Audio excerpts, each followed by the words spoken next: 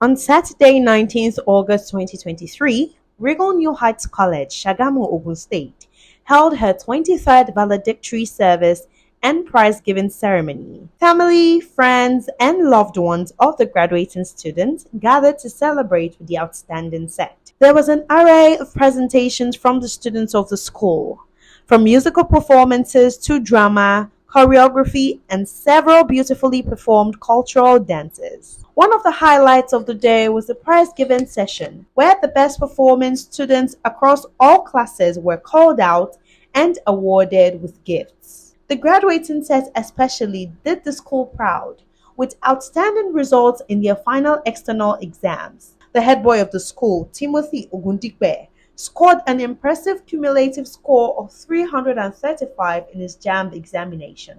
It is no news that for years, Regal New Heights College, formerly known as Regal College, has dominated the school scenery within and outside Ogun State. The school makes sure to imbibe necessary principles in order to bring out the best in their students. Both alumni and parents can testify to this.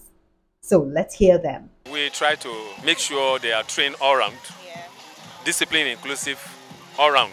They are just wonderful set. Very obedient. Although at times they misbehave, but we accommodate them. But they are obedient. We, whenever they put in, they put in their best. Yeah. And if I'm to advise them, is to keep it up. More reward is there. With God, all things are possible. Yes. It was indeed a great day of joy and pride for the school, the students, and the many parents who graced the occasion.